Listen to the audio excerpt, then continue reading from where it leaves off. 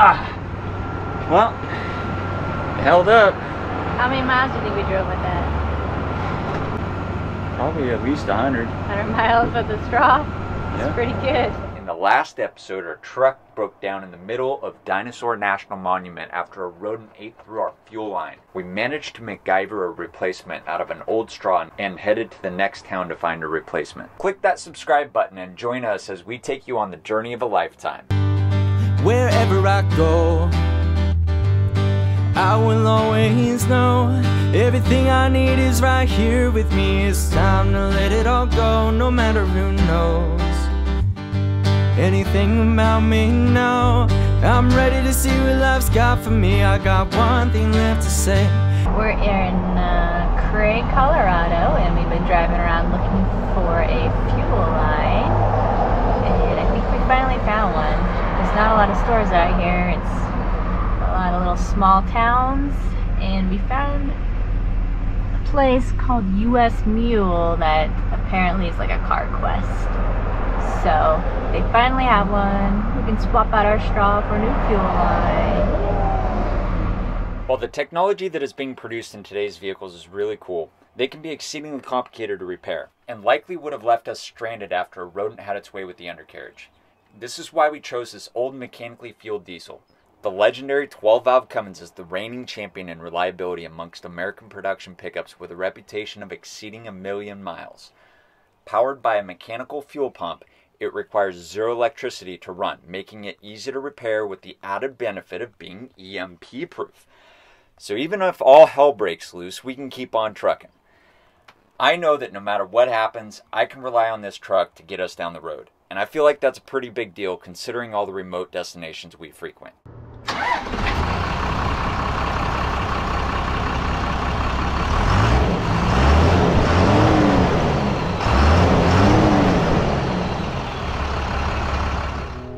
My amazing husband did it again. Over the last decade, I've seen Nick manage to flawlessly MacGyver so many different things to help us out of difficult situations. It gives me so much peace of mind when traveling to new unknown places that we can solve just about any problem with a little ingenuity and kindness from others. With our truck in good working condition, it's time to blow off some steam in Steamboat, Colorado. Steamboat is a gorgeous little town right on the Yampa River. It's the perfect place to make a stop for the night.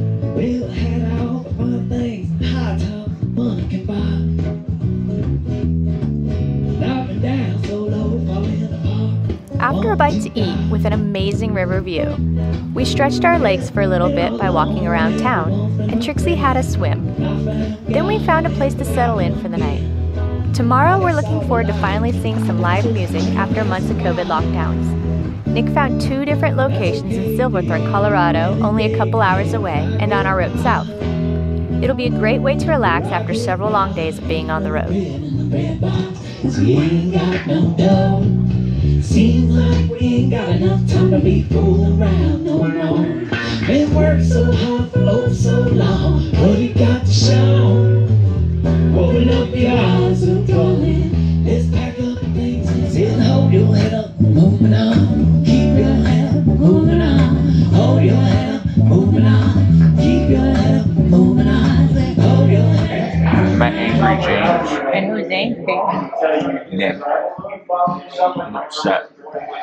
We drove two and a half hours to come and see live music.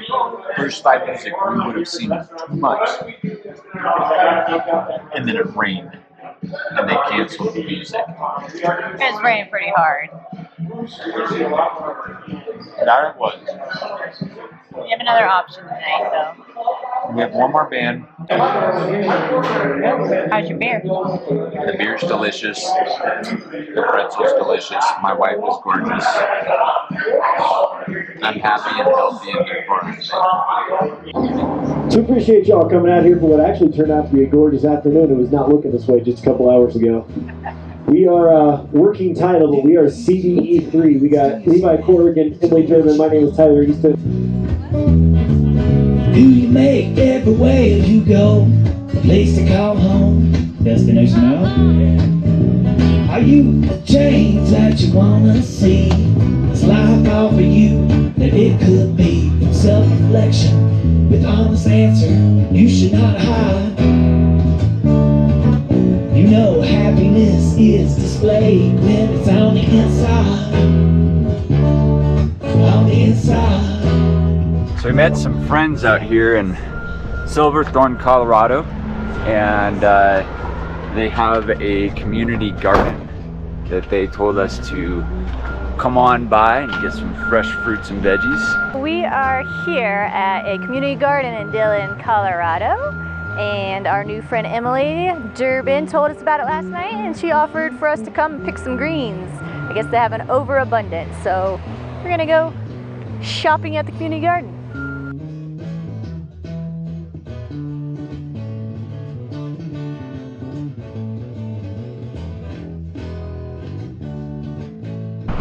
Thank you very, very much, Emily. That's gonna be delicious. You rock.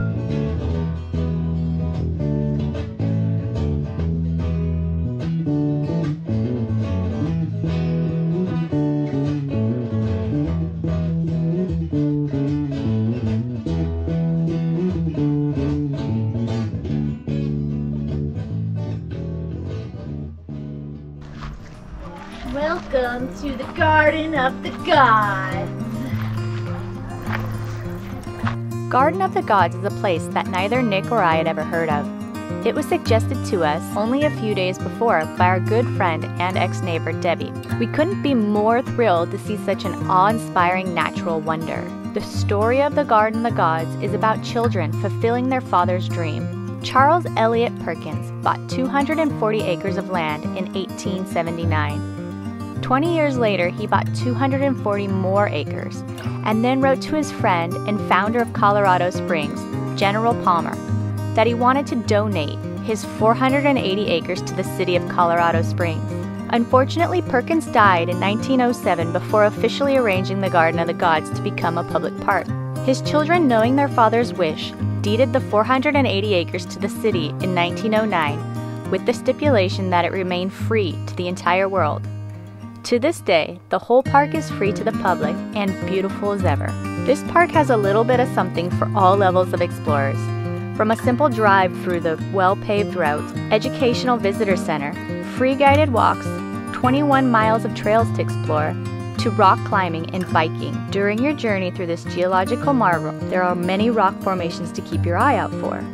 Some of these include the Kissing Camels, Siamese Twins, and Balanced Rock. If you look up here at the top of the rock ridge, there's a hole where it looks like two camel heads are kissing. It's called Kissing Camel. So I have a story about this rock. We're over here at Balanced Rock in Colorado at the Garden, the Garden of the Gods. And my grandfather, who was born in 1920, came here on a road trip. And he really was concerned and he wanted to know why wouldn't they knock this thing over because it's such a health risk. he was worried that the rock was going to fall off of here and land on somebody.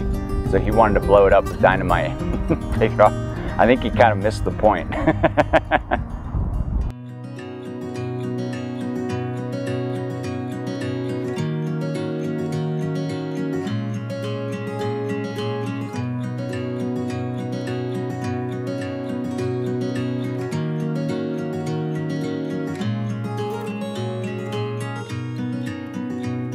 Here we are at Siamese Twins.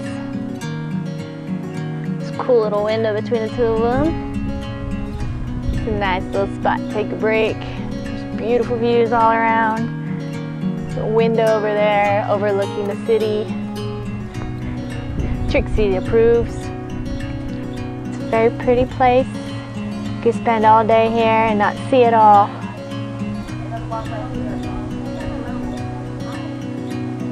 Yeah. Jacqueline approved. It's a cool spot. I like it. It's like a window. Window to your soul. Window to the world. My two favorite people in the whole world.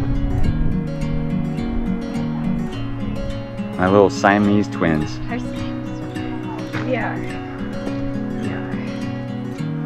Connected at the hip. We are entering the visitor center at uh, Garden of the Gods, and we're gonna go find out what's inside the visitor center. This place is wonderful. You guys should come check it out for sure. After you.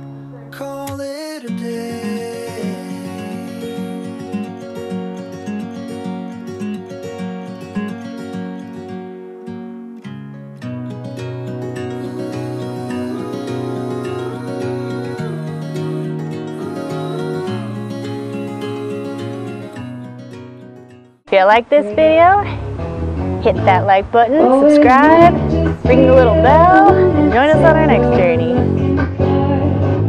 Turn out the lights.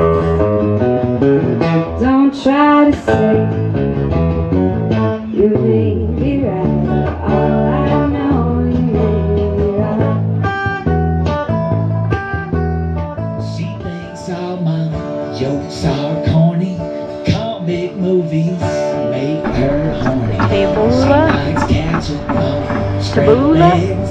She cusses like a sailor when she saves her legs. Takes a licking and keeps on ticking. Never gonna let her go.